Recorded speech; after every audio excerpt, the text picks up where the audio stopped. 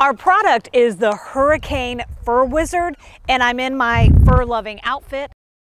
And we have a great place to test the brush a home filled with dogs. I'll jump up on you and I'll just. Ooh. Our testers, Kelly Morris and her son Benny. You ready to try it? Yes.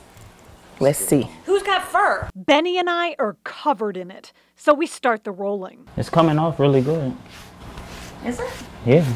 The Fur Wizard is made with micro bristles and it's double sided. It's working.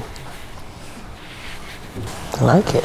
We're also doing a side by side comparison with a lint roller. Let's do right leg first. You ready?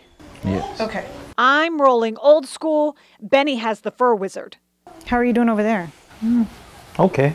Next, we switch it up. We'll do The stanky leg. the stanky Oh, leg. you mean the left leg. The left leg. Yeah, the left leg. Okay.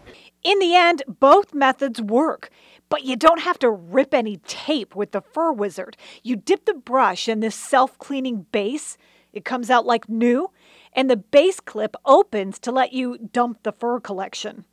Wow. That's all the hairs. What's in there?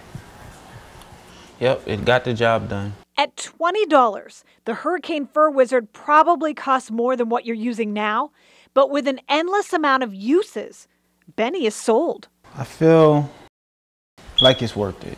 You do? Yeah, I'll, I'll get it.